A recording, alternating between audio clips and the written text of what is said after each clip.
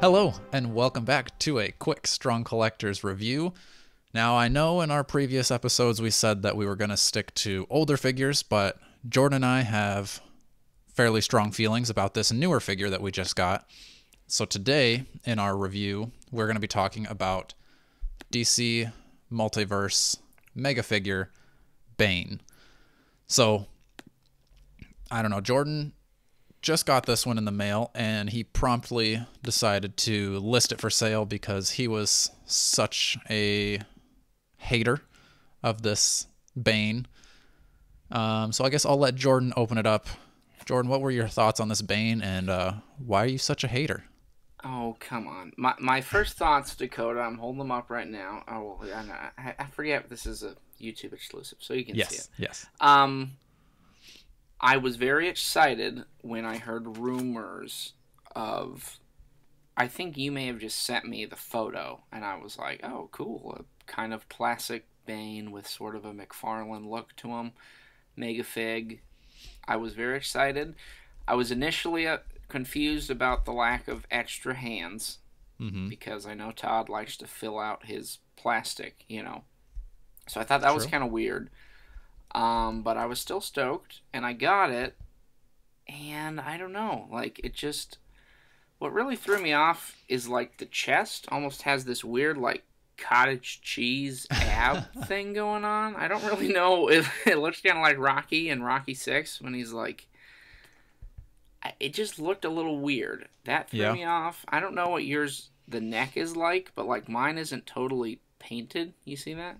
Oh, really? Is yours painted all the way, or is mine? Yeah, I guess I can kind of see where it's like supposed to be the mask. Yeah, but it's it's flesh-colored. like a weird like bulge of flesh. It's just kind of, Yeah.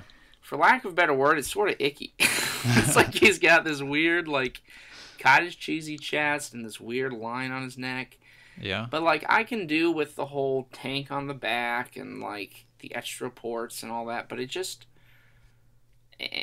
and you talked about this a little bit, but it's just the lack of kind of posability for me. Like Yeah. So I guess I yeah.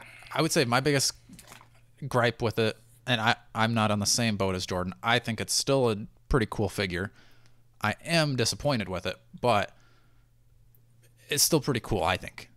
However, like Jordan was saying, the articulation on this guy is so sad. Like, again, McFarlane's are not usually known for their posability. Like, you're never going to get your Batman in the same pose as you're going to get your Marvel Legends Spider Man.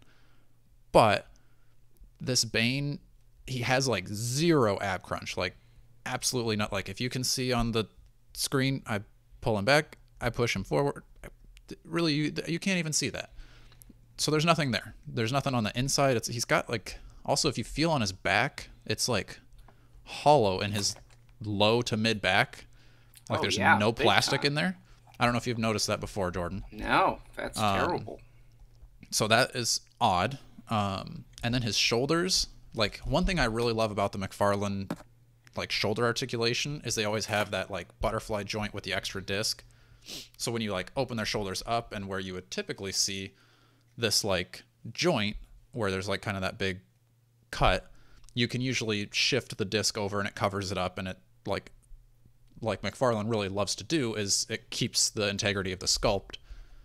For some reason he decided not to put kind of those concealing the unsightly joints. Right.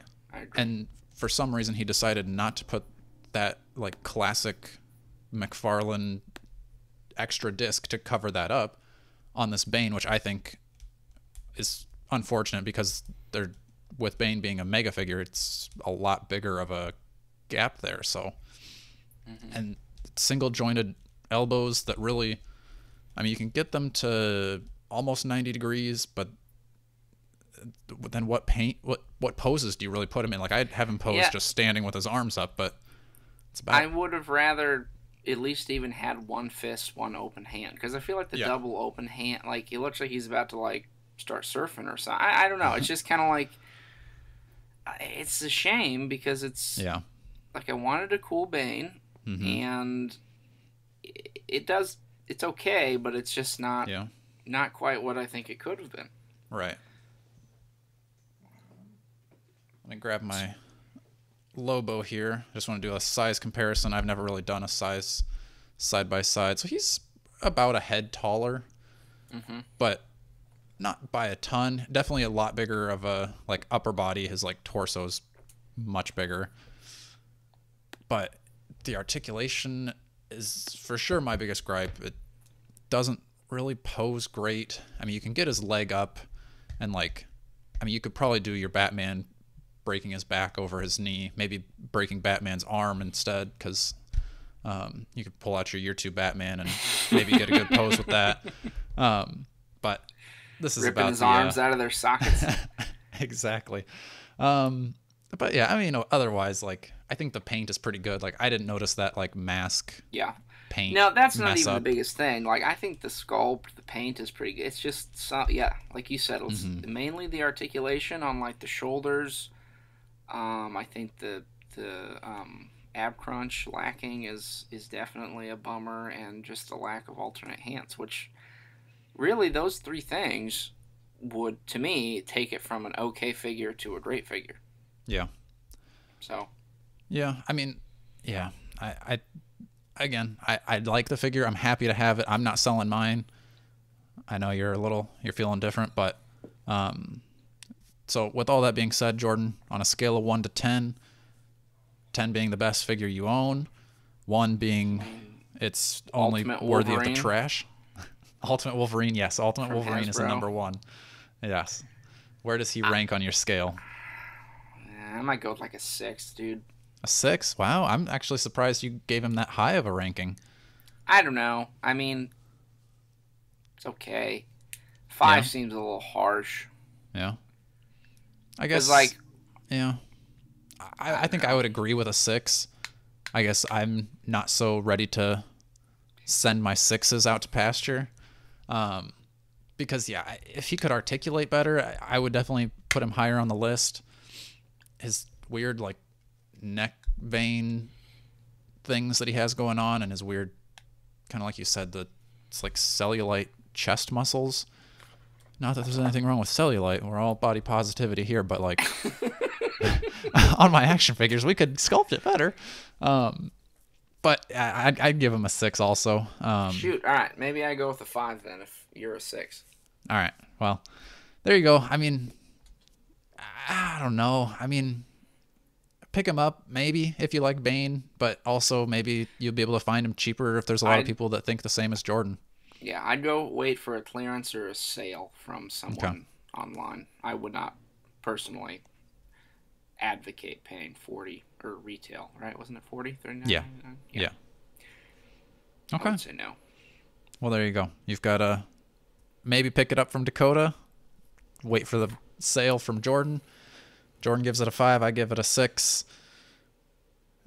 Ah, I hope we get a better Bane, but also at the same time, I don't really want to pay for another Bane because there's not anything like. I mean, maybe they give you a classic one that doesn't have so much of the tanks and stuff, but it wouldn't really be worth picking up another one for me. So this one is just going to be my Bane. I don't need another one. It does the trick. Put him on my shelf, kind of vanilla posed. Call it good. Parting thoughts, Jordan? You good? I would just say let us know what you think. Yeah. If you Uh, if you're thinking we're absolutely crazy and this is the best figure ever made, let us know what we're missing here. Um, if you think Jordan's still being generous with a five, and you think this figure is worse than the Ultimate Wolverine, also let us know that because that would be a hard argument, but I could see where it could come from. So, um, yeah, let us know what you think in the comments. Make sure that you're subscribed. I'm trying to put two of these out a week. Um, and until next time, stay strong.